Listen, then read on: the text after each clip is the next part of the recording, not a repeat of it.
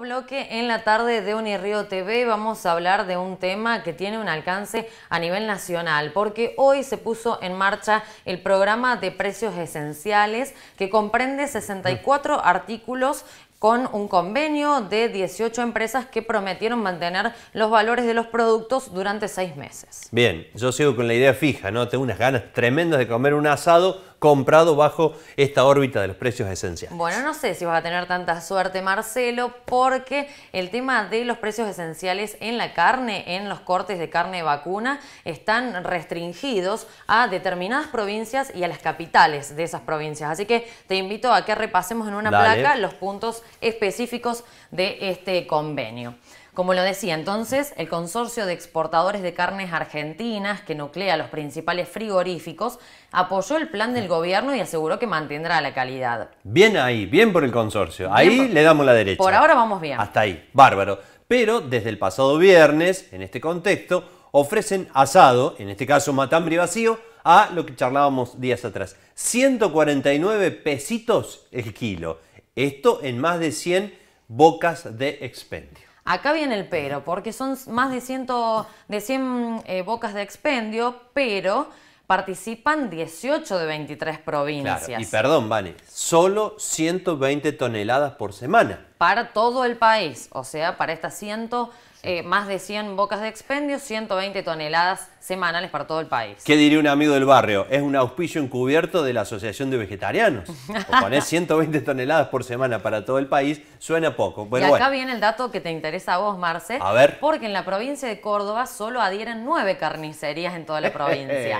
Siete en la capital. Una de Alta Gracia y una de Río Segundo. Claro, que esta es la que sacó Diario Puntal hace unos días, la de Río Segundo que hay que hacerse más o menos casi 200 kilómetros para llegar a esta, carnicería, rogar que eh, eh, haya disponibilidad, claro, y pasaban el fin de semana que había filas de gente, sí, filas de gente para poder comprarse unos kilitos de asado. ¿eh? Lo, que hace, lo que hace a veces una persona por este, conseguir ese matambrito. O la que nos queda es irnos a Altagracia, pasar un fin de semana en las sierras y ahí nos comemos el asadito a 149 pesos el kilo. Sí, me voy a llevar unos sándwiches en el tupper. Por las dudas no va a ser cosa que la carnicería te cerrada y quedas en Altagracia. ¿Sí? Hay que ir antes que aumente la nafta. Ah, también es un intrigo. Claro, también a partir del jueves, primero de mayo, aumento de los combustibles. Pero los precios esenciales, como lo decía en la presentación, eh, son aplicados en 64 productos. Así que vamos a ver cómo impacta este programa en nuestra provincia de Córdoba, que es lo que nos interesa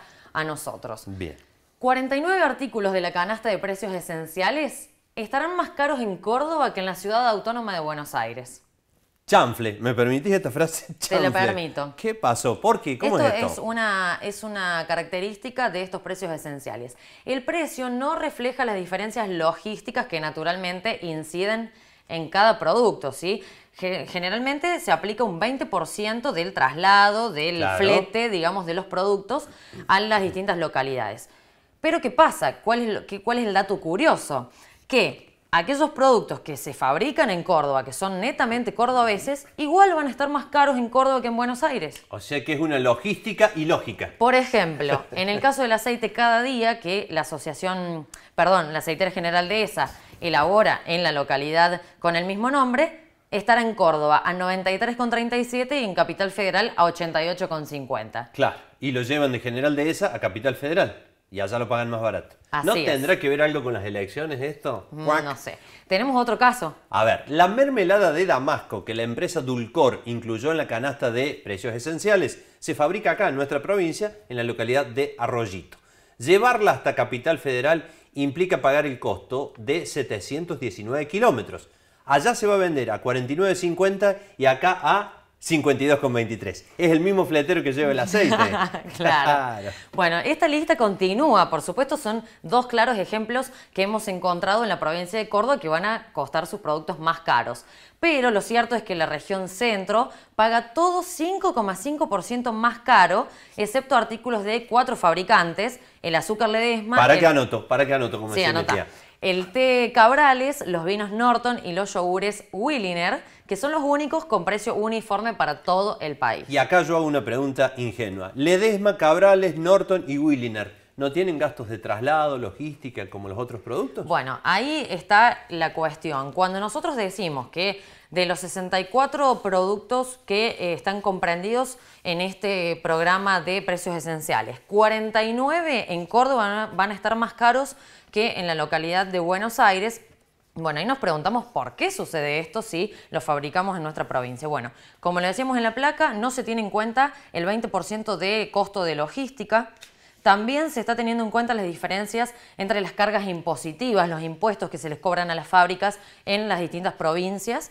Y además, el gobierno ha eh, dado una autorización de que esta canasta básica sea más barata en Buenos Aires. En definitiva, voy a comprar menos mermelada y aceite y me inclino por los lácteos, el té, cabrales. El No quiero decir los vinos Norton porque todo el mundo va a ir por el chiste fácil. Y bueno, va a haber que consumir menos mermelada y aceite. Ahora sí retomamos el contacto telefónico con Víctor Palpacelli, presidente de la Cámara de Supermercados y Autoservicios de la provincia de Córdoba. Buenas tardes, bienvenido a nuestro programa. Hola.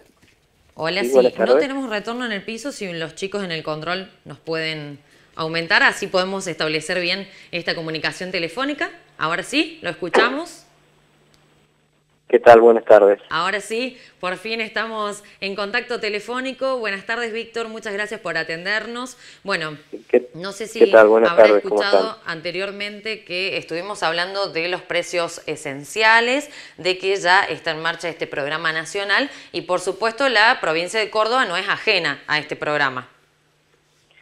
Sí, así es. Eh, hoy debuta el programa de precios esenciales y bueno, eh, como hemos anticipado en los últimos días, eh, la CASAC, que es la Cámara de Supermercados de la provincia, eh, bueno, va a acompañar el programa, siempre aclarando que dependemos pura y exclusivamente del abastecimiento y de la provisión de los proveedores del listado y de las industrias, ¿no?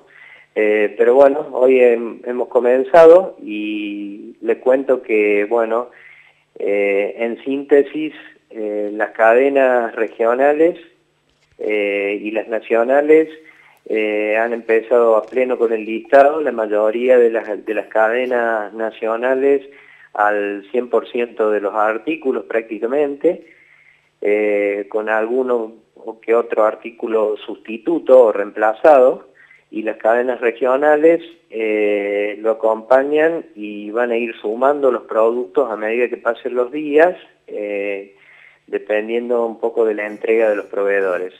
Hay cadenas que están trabajando, hoy han comenzado al 50%, otras al 70%, eh, y bueno, esperamos en los próximos días, jueves o viernes, ya prácticamente completar el listado.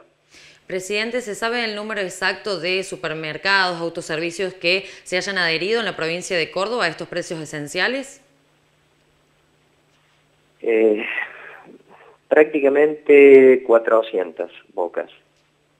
Ajá. ¿Y garantizan tener el stock cabe, suficiente? Cabe aclarar que algunas cadenas regionales han tomado la decisión de acompañar, no obstante, eh, no estar inscritos en precios cuidados que es uno de los requisitos, pero eh, han decidido acompañar eh, y, bueno, en caso de no contar con la provisión por parte de algún proveedor del listado oficial de las 18 empresas que proveen, eh, bueno, han decidido reemplazar empresas y poner productos sustitutos de igual calidad, ¿no?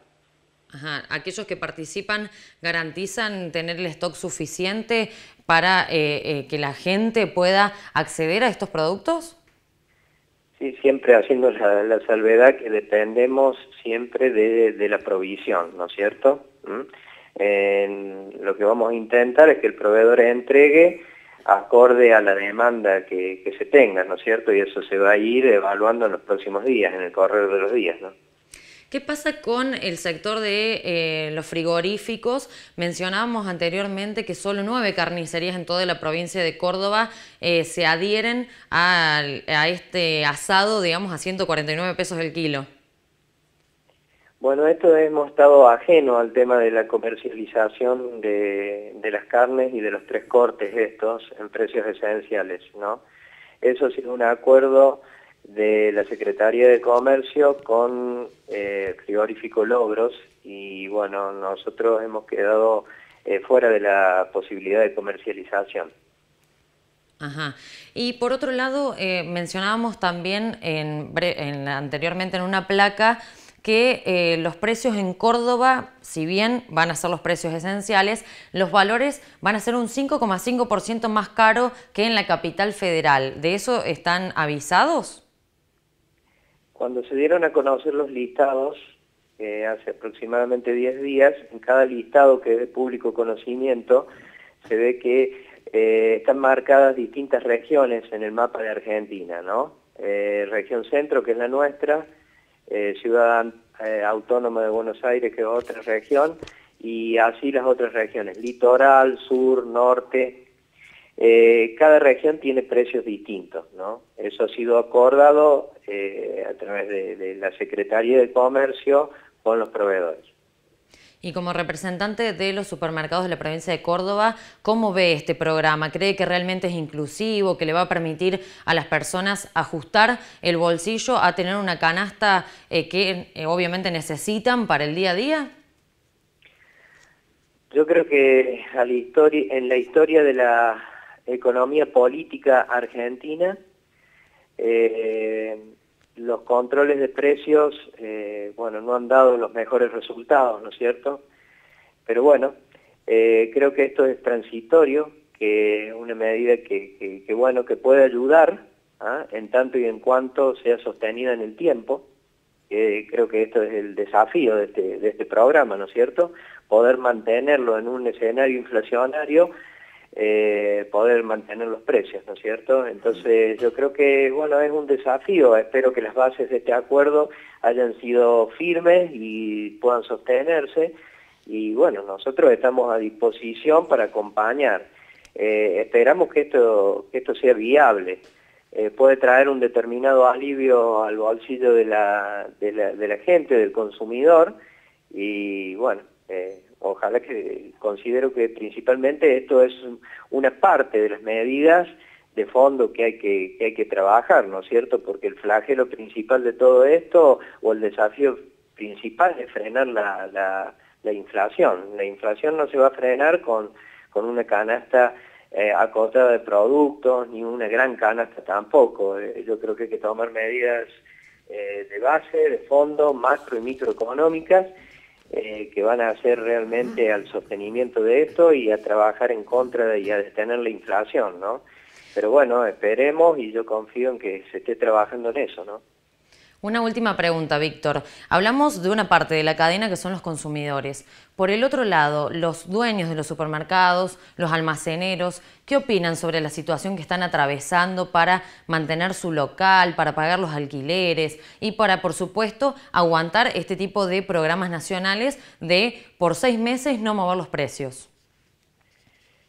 Y venimos manifestando esto desde hace ya mucho tiempo, ¿no? Eh, cada vez se hace más difícil en nuestro sector y en los demás sectores también sostener las estructuras de costo.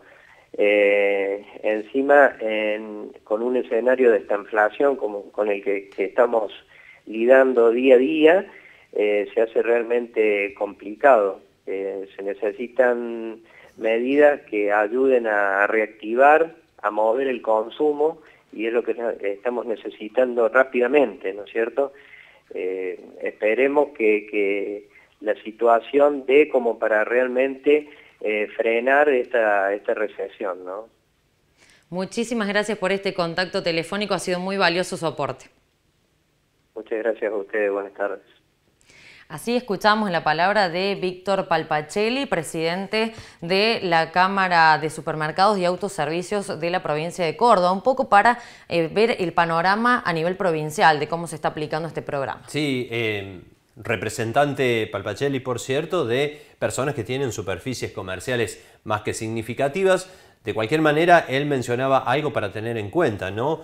Este tipo de medidas, el control de precios, es microeconómica y no alcanza a ser suficiente para contener a la inflación, porque podemos hacer cierto control de precios que si a nivel general el país está complicado, un ejemplo, el dólar si sigue subiendo, bueno, el control de precios va a quedar prácticamente en la nada. Ojalá nos equivoquemos por el bien de todos los argentinos, pero hay cuestiones que necesitan medidas más de fondo y no monetario internacional, sino de fondo en cuanto a su esencia para ser tomadas, que trascienden a un control de precios.